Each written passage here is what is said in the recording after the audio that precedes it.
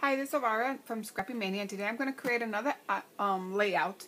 And it's a single page layout, and let me show you the stuff that I'm going to be using. Actually, before I show you what I'm going to be using, I'm going to show you the sketch.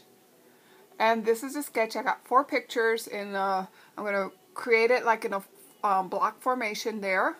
Four pictures there. And then I'm going to put some stars and some embellishments and things like that. So let me show you the material that I'm going to be using. I bought these Project Life cards and they're perfect for journaling. You don't I don't do Project Life, but I use these for uh, my layouts and I'm going to use one of these for my journaling. I got this card um, stock. It's color box and I'm just going to use the cream color and I'm using it to create my embellishments. I got this stamp Simply Iconic from HSN and I want to use these stamps with my layouts. It comes with a block. And they still have it on HSN. So if, let me show you what they have. This is one of them. Let me put it against a cardstock. So they have this. I love this little plane, these stars. I love this. And then they have here camera, a mustache. They're very in trend. And um, Instagram or even a film camera. And I think I'm going to use some of that. This is another one of the stamps, and you can even stamp these inside here.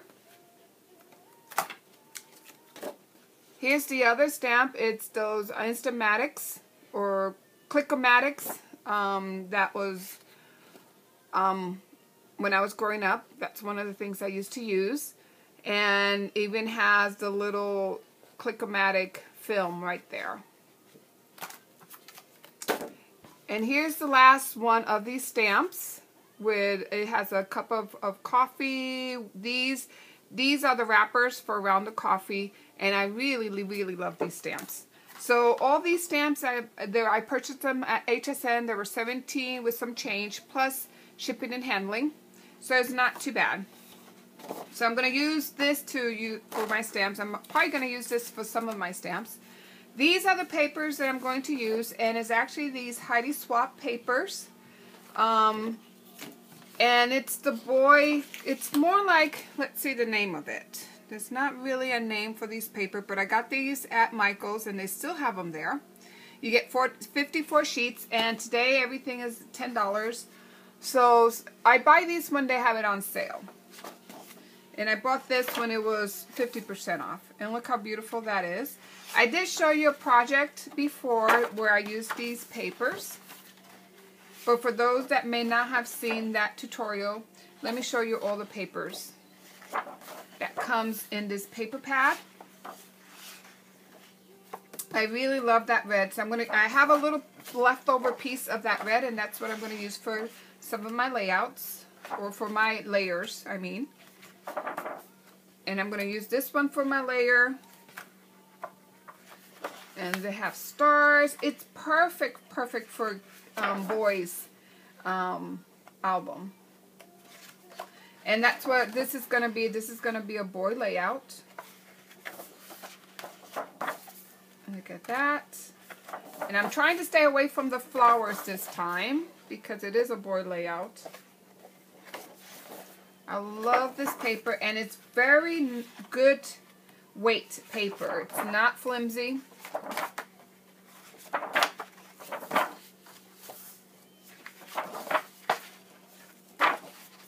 So beautiful it is. Okay, so I'm going to use that. I already got the papers that I'm going to be using. This is going to be, I'm going to try to use this. Last time I, I, was planning to use this as my alphabet and I didn't. But this time I think I'm going to go ahead and use that for my title. This is some of the leftover papers that I have. These are my four photos that I'm going to scrap. This is the red cardstock that I'm going to use. And then these are the other papers that I'm going to be using for this layout. So I'm going to go ahead and start mounting everything together. And hopefully you like this video process. So I started cutting out the strips.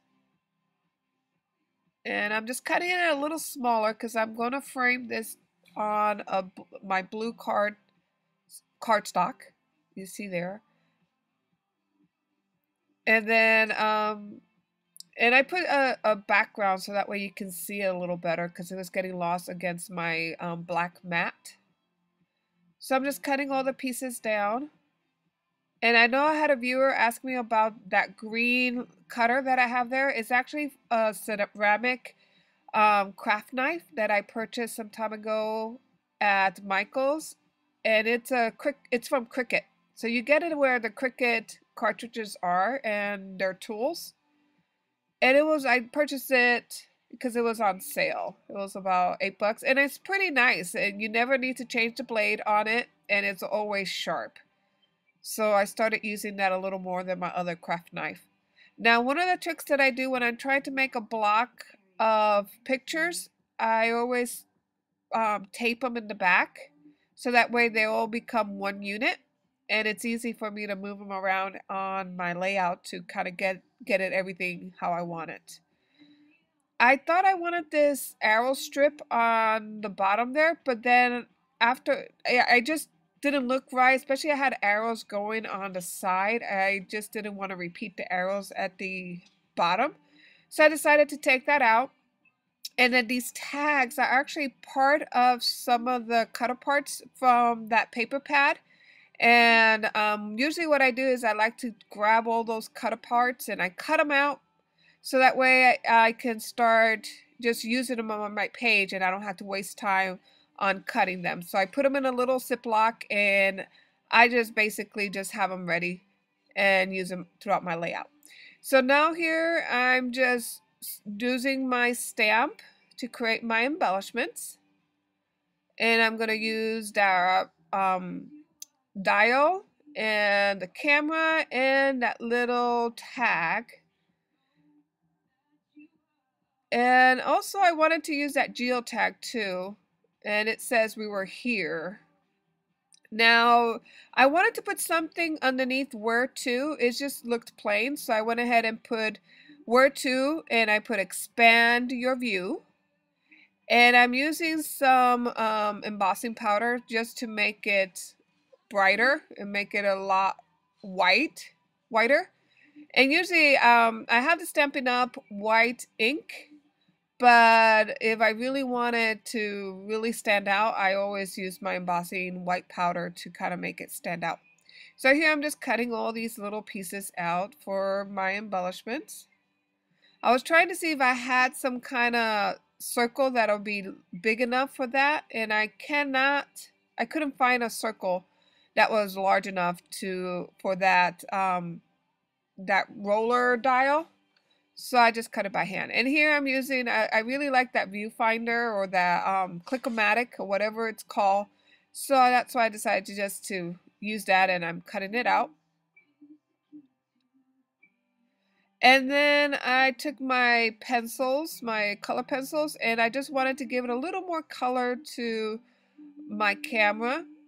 And the trick with color pencils is that you really need to really lightly color your um, your item, don't really put a lot of pressure and just go over it lightly over and over and it will it will take the color. So I cut out my stars and now I'm ready to assemble everything together. And just kind of figure out where I want all my pieces.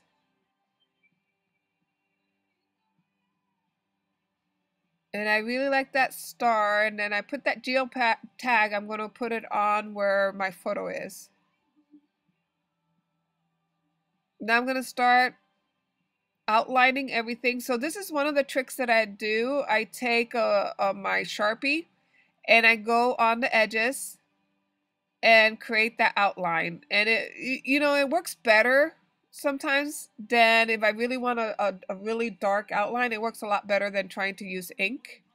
I like to use ink when I want to give a subtle shade, but when I really want to make it stand out and I want my edges to stand out, I use a sharp, a magic marker. You can also use that same technique with pictures, and it works very nice like I'm doing here. It really gives it a nice background. And it, you don't even need a mat when you do that. So I'm just going to use some of this aggressive adhesive so that way make sure my pictures don't move. And just placing it down.